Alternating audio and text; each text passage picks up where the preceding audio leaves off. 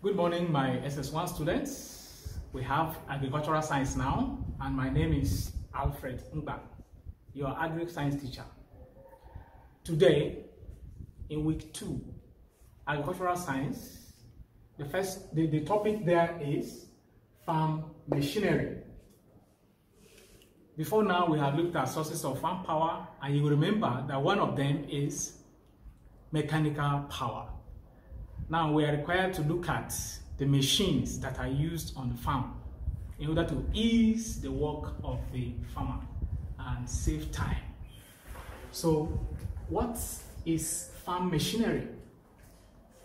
Farm machinery can be defined as all the mechanical devices and implements that are used on the farm to make the work easier and faster for the farmer.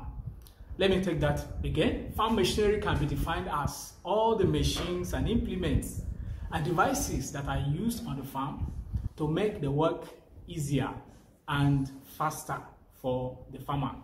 Actually to remove drudgery, that is tiredness from the farmer and uh, prolong his lifespan. So that is farm machinery. What are examples of farm machines that we have. Examples of farm machines include the tractor, the incubator, the milking machine, the sheller, the grinder, the tree puller, and the bulldozer. These are called farm machines. These are examples of the farm machines that we have. What you need to know about the machines again is how to maintain them. There are different types of maintenance classified into two, daily maintenance and periodic maintenance. So the daily maintenance are the things that you do on the machines every day before you take them out to use on the farm. The periodic maintenance are the things that you do on the machine once in a while, maybe two weeks or weekly or monthly or fortnightly they are not daily maintenance practices. Then we will look at them in more details. Now you have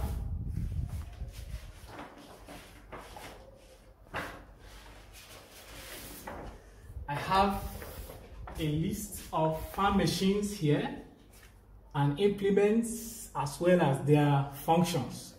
You can see that number one. So you have farm machines, implements, and their functions. You have the tractor is used for primary tillage and drawing of implements. What are implements? Disc harrow, disc plow, mudboard plow. They, are, they use the tractor to draw them, that is to drag them on the farm. The bulldozer is used for bush clearing. That is number two. Number three is tree puller. It's used for removing of trees on the farm so that the tractor can be used easily. Number four is the incubator. The incubator is used for the hatching, artificial hatching of fertilized eggs. The fifth number there is milking machine is used for milking of cows, that is extraction of milk hygienically and uh, medically in a medically standard way from the cow. Number six is the sheller.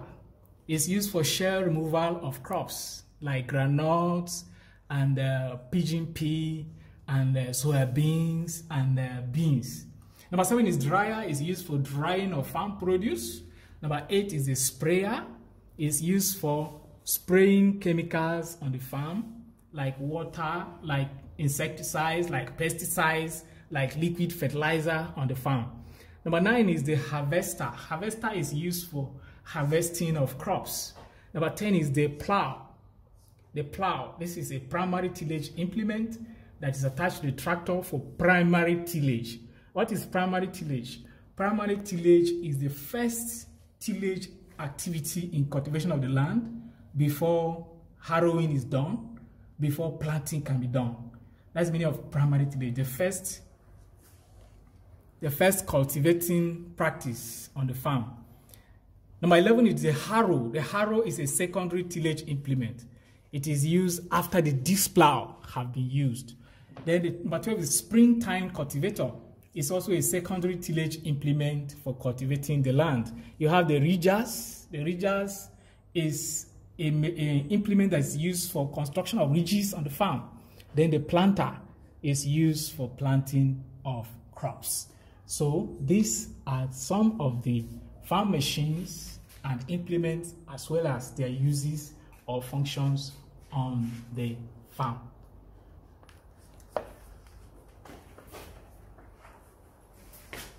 I have pictures of some of some of the machines and implements. This is a maize sheller. This is a milking machine. This is a disc harrow. This is a tree puller. While this is a disc plow. This is primary tillage implement. This one is secondary tillage implement. You should be able to identify them anywhere you see them all over the world. They are the same.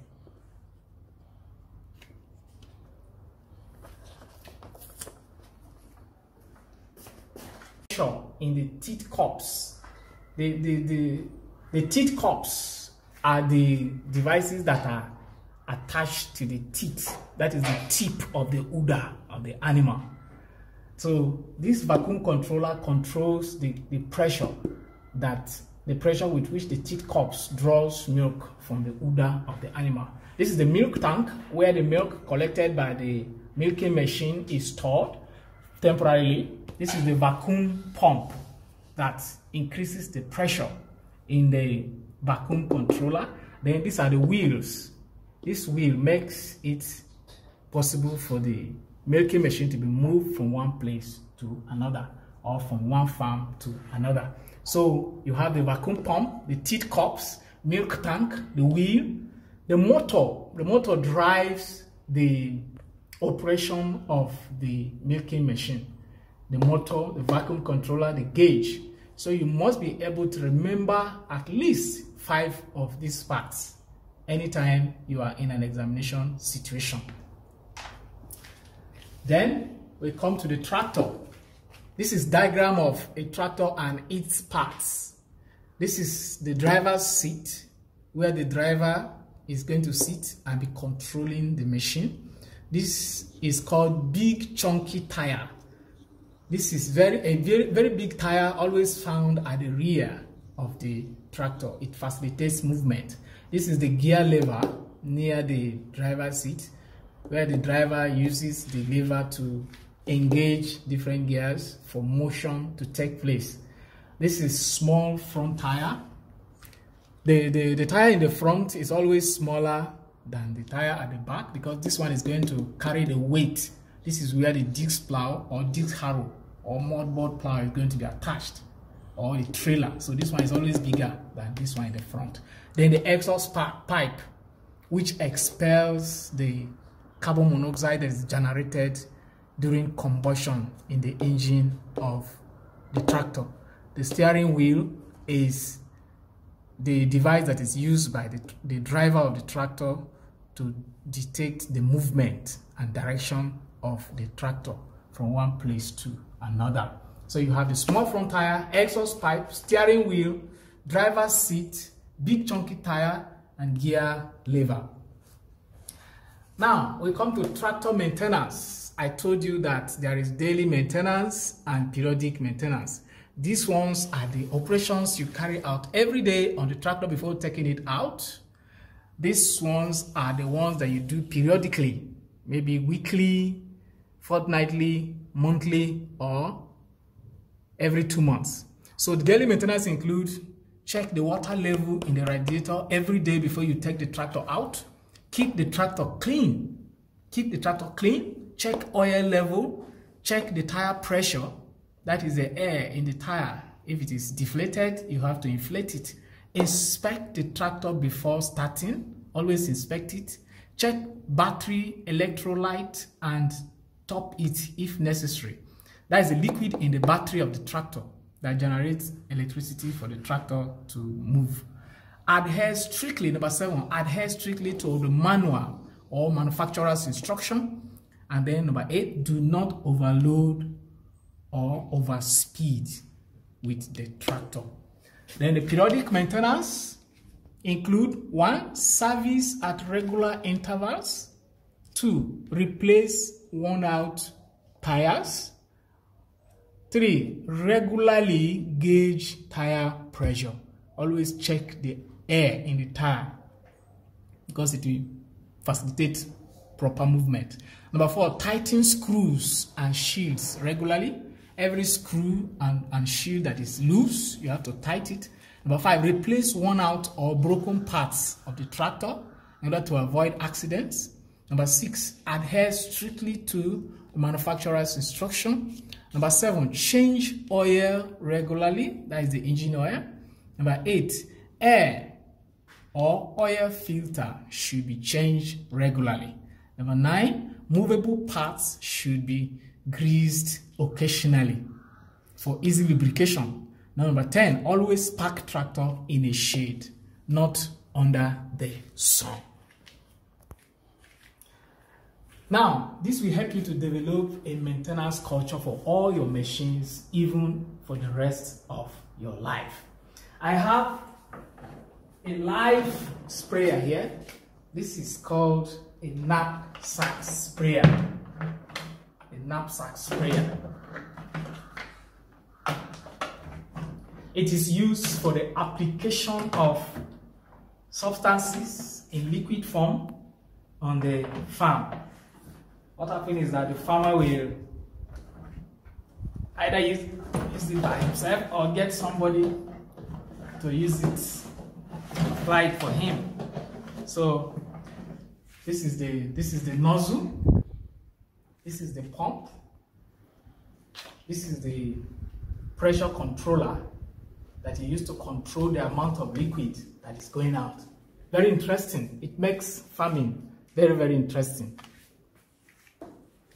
So after you mix the chemical with the water, following the manufacturer's instructions, you put it, you put the chemical inside the tank, and then as you pump, as you pump, as you pump like this, the chemical will be coming out through this muzzle, this muzzle, this nozzle, sorry, this nozzle. So you control the spray in order to achieve uniform and effective coverage of the crops that you want to spray. You can also use it for fumigation of your poultry houses like poultry farm, uh, livestock farm, your and, uh, cattle pen or goat pen. You can use it to fumigate the place before you stock a new stock of animals. Yeah, so this is the knapsack sprayer.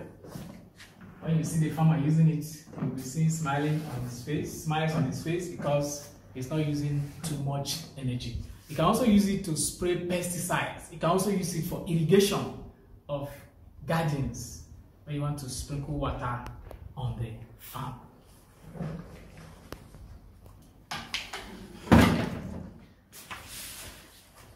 refers to all the machines and implements used on the farm to make farm operations easier and faster. Examples of farm machines include the tractor, bulldozer, tree puller, milking machine, incubator, etc. Examples of farm implements include disc plow, disc harrow, mudboard plow, ridger, etc. There are two types of maintenance of farm machines, namely daily maintenance and periodic maintenance.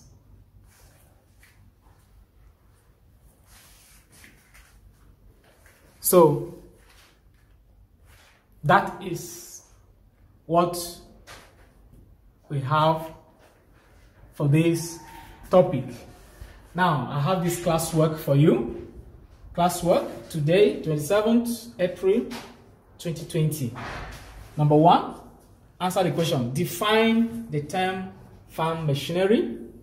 Two, outline five parts of the tractor and state one function of each. Number three, tabulate two daily and two periodic maintenance of the tractor.